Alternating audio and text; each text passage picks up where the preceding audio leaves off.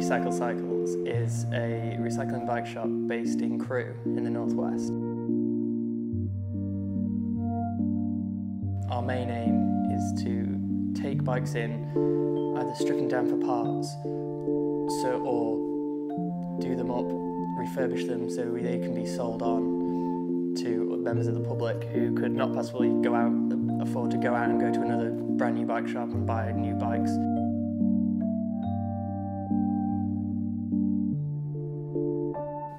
When I started, I was just a volunteer.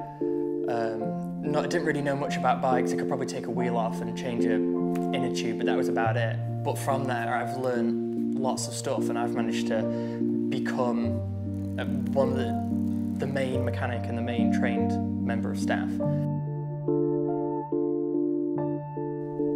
Me and Ben run the shop, but sometimes there's a lot of stuff going on. We've started to get a lot more repair work in as well as doing up the bikes ready for sale that get donated. Anybody who can donate any time, it doesn't have to be, you don't have to be a, a major bike mechanic or massively into bikes as such. You know, you can come around, help us just keep the shop in order.